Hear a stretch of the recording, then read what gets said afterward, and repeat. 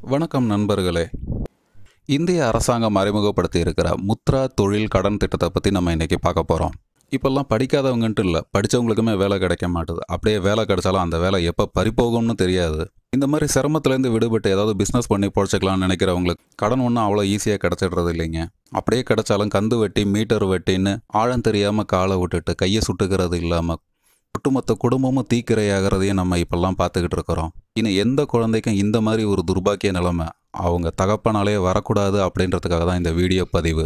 தயவு பண்ணி வீடியோவை பாருங்கள் உங்களுக்கு இது உகந்ததுன்னா நீங்கள் உபயோகப்படுத்திக்கோங்க. ஒருவேளை உங்களுக்கு இது உபயோகப்படாது அப்படின்னா யாருக்கு உபயோகப்படுமோ அவங்களுக்காச்சும் உதவி பண்ணுங்கள் இந்த முத்ரா கடன் திட்டத்தில் பார்த்தீங்கன்னா எந்த விதமான சூருட்டியோ ஜாமீனோ இல்லாமல் பத்து லட்சம் ரூபாய் வரைக்கும் கடனாக நம்ம பெற முடியும்.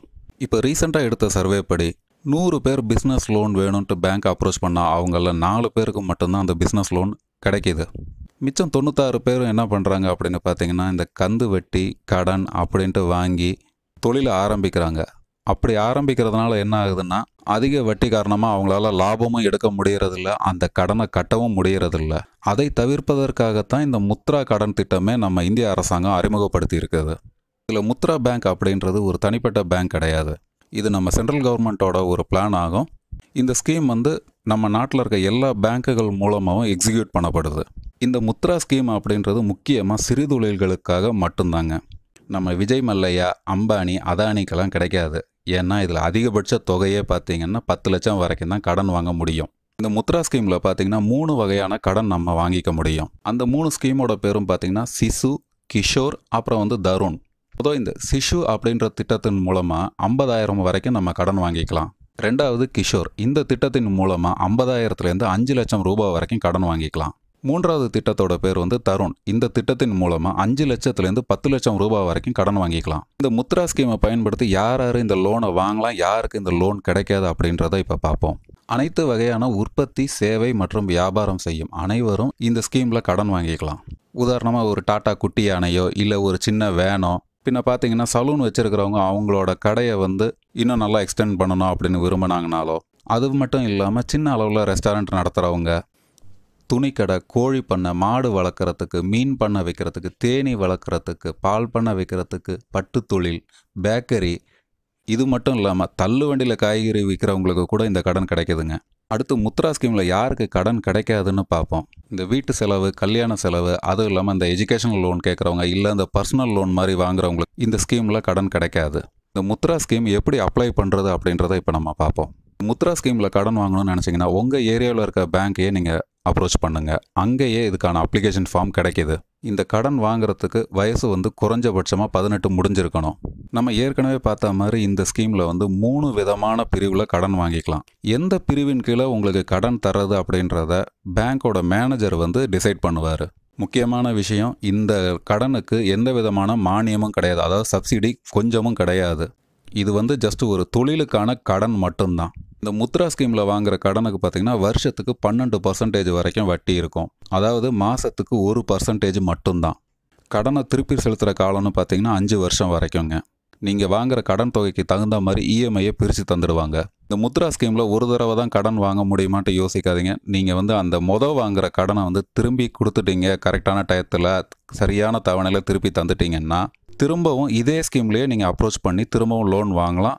ஈவன் தோ பேங்க் வந்து அதை ரொம்ப என்கரேஜ் பண்ணுறாங்க முத தடவை கடன் வாங்கினவங்களுக்கு திரும்ப கடன் தரத்துக்கு. இந்த கடன் வாங்குறதுக்கு எந்த விதமான சூரிட்டி செக்யூரிட்டி ஜாமீன் எதுவுமே தேவையில்லை. எந்த பத்திரமும் வைக்கணும்னு அவசியமும் இல்லை. முக்கியமான விஷயம் என்னென்னா ஒவ்வொரு பேங்க் பிரான்ச்சுமே ஒரு வருஷத்துக்கு அட்லீஸ்ட் இருபத்தஞ்சு பேருக்கு இந்த முத்ரா ஸ்கீமில் கடன் தந்தே ஆகணும். குறைஞ்சபட்சம். அதிகபட்சமாக எவ்வளோ வேணால் இருக்கலாம். தமிழ்நாட்டில் இது வரைக்கும் இந்த ஸ்கீமை பற்றி நிறைய பேருக்கு தெரிய வராதனால முடிஞ்ச வரைக்கும் சீக்கிரமாக நீங்கள் முந்திக்கோங்க. அடுத்து இந்த முத்ரா ஸ்கீமில் நம்ம வந்து லோன் அப்ளை பண்ண போகிறோன்னா அதுக்கு என்னென்ன டாக்குமெண்ட் வேணுன்றதை இப்போ பார்ப்போம். ஐடென்டி ப்ரூஃப் கண்டிப்பாக வேணுங்க. அது என்னென்னு சொல்கிறேன் voter ID driving licence PAN card Aadhaar card இல்லை பாஸ்போர்ட்டு இதில் எதுவுமே இல்லைன்னா உங்கள் ஃபோட்டோ ஒட்டி கவர்மெண்ட்டால் வழங்கப்பட்டிருக்க எந்த அடையாள அட்டையும் செல்லுபடியாகும்.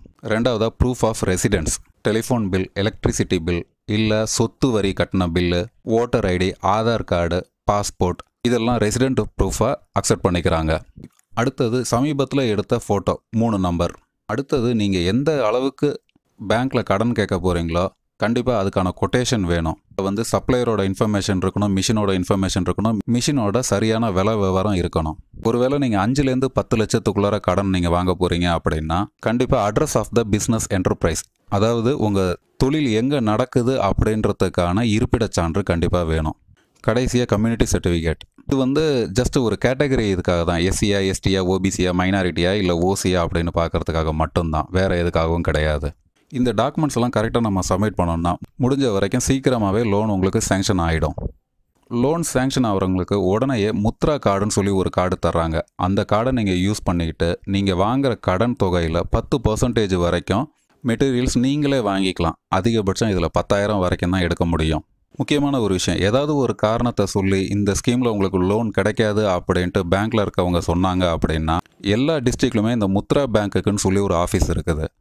அங்கே போய் நம்ம கம்ப்ளைண்ட் பண்ணோம் அப்படின்னா அதுக்கு இமீடியட்டாக ஆக்ஷன் எடுத்து பிரச்சனையை சரி பண்ணி தராங்க. முக்கியமான விஷயங்கள் சில.